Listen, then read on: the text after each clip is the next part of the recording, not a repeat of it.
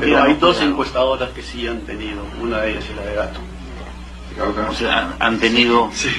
No, ya díganos la otra para no estar este, adivinando. Muerto por mí, muerto por mí. ¿Cuál es la otra? La CPI, Y CPI.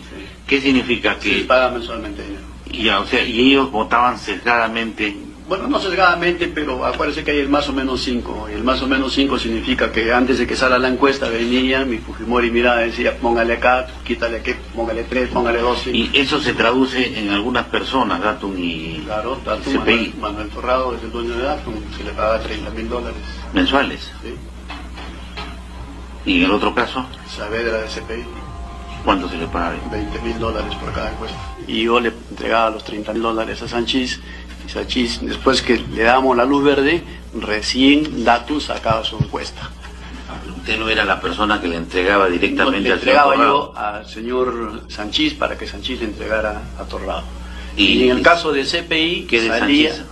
Sanchís es español. Ya sé, pero ¿por dónde anda Sánchez?